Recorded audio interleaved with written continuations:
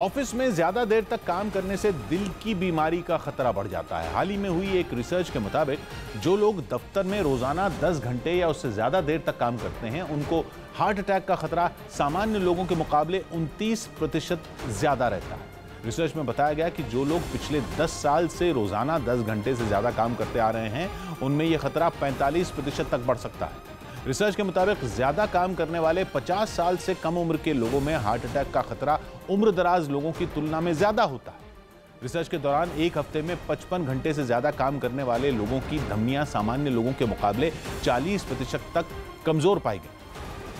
राजस्थान के बाड़मेर में सैकड़ों की संख्या में गायों की मौत हो रही है, जिसकी न्यूज़ 18 ने पड़ताल की। जिसमें ये जानकारी सामने आई कि वहाँ सूखे की वजह से चारे की बहुत ज़्यादा कमी है। जिसकी कीमत गायों को अपनी जान देकर चुकानी पड़ रही है। बाड़मेर में हरियाली का नाम तक नहीं है। दूर दूर तक बंजर ज़मीन और उस पर पड़े गौवंश के अवशेष दिखाई पड़ते हैं। बाड़मेर पश्चिम का इलाका जहाँ आपको दूर दूर तक कोई घर नहीं मिलेगा लेकिन एक चीज़ जो यहाँ नज़र आ रही है वो है मृत गोवंश। गाँव वालों ने गायों की अकाल मृत्यु के पीछे चारा नहीं होने को बड़ी वजह बताया। चारा मिलता नहीं है भूख मर रही है। लोगों को अनाज नहीं मिलता है गायों को क्या खिलाए? बाड़मेर के इस इलाके में गायों की हालत ऐसी है कि वो अपने पैरों पर खड़े तक नहीं हो पा रही हैं। किसी तरह लोग गायों को उठाकर खड़ा कर भी देते हैं तो वो इतनी कमज़ोर हो चुकी है कि लड़खड़ा कर ज़मीन पर गिर पड़ती है। क्योंकि सूखा ऐसा पड़ा है कि चारे के साथ पीने को पानी भी नहीं मिल रहा है। गोवंश की अकाल मृत्यु के पीछे की असल वजह जानने के लिए जब न्यूज़ 18 की टीम आगे बढ़ी तो रास्ते में गायों के शवों का ढेर दिखा जिनकी हड्डियाँ चारों तरफ़ बिखरी हुई थी। तस्वीरें इतनी भयानक कि दिखाई तक नहीं जा सकती। अब हम भारत पाकिस्तान सीमा से चंद किलोमीटर दूरी पर हैं। बड़ा ढेर मृत गोवंश के कंकाल का यहाँ पर पड़ा है। हालात इतने बिगड़ चुके हैं कि लोग गाड़ियों में गायों के शव लाद कर ठिकाने लगा रहे हैं। तो आपने कितने गोवंश मृत उठा लिए होंगे अगर एक महीने में बताएँगे आप? सौ डेढ़ सौ। हालाँकि सरकारी अधिकारियों के पास ना तो आंकड़े हैं और न ही कोई जानकारी। तो हमारे द्वारा और हमारे फ़ील्ड स्टाफ के द्वारा भी लगातार फ़ील्ड में भ्रमण किया जाता रहा है तो कहीं से भी इतनी ज़्यादा एक साथ कोई मोते होने की कोई हमारे पास खबर नहीं है। राजस्थान के बाड़मेर में पिछले तीन साल से भयानक सूखा पड़ रहा है।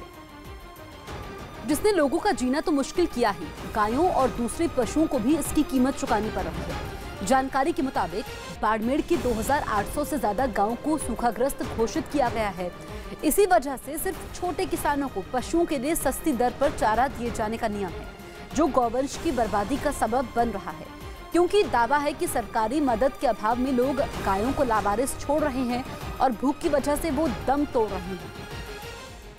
हालाँकि ऐसे हालात में लोग कुछ गौ सेवा संस्थाओं की मदद के भरोसे हैं जिनसे बाज़ार भाव से कम दाम पर चारा भी मिलता है। और इसी चारे के ज़रिए वो इस भयंकर सूखे की स्थिति में गायों की जान बचाने की कोशिश कर रहे हैं। इस बार 2015 से लघु और सीमांत किसानों वाला एक नियम आ गया जिसके कारण न तो शिविर खुल पाए न इनको चारा मिलता है।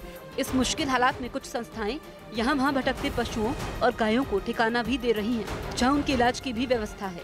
लेकिन गायों की बदहाली के लिए राजस्थान गौ सेवा समिति के अध्यक्ष महेंद्र दिनेश गिरी सरकार को जिम्मेदार मान रही है। सरकारों द्वारा अब तक जो सहायता मिलती आ रही थी उसका बंद होना तो एकदम रोंगटे खड़ावाना कार्य कर दिया है।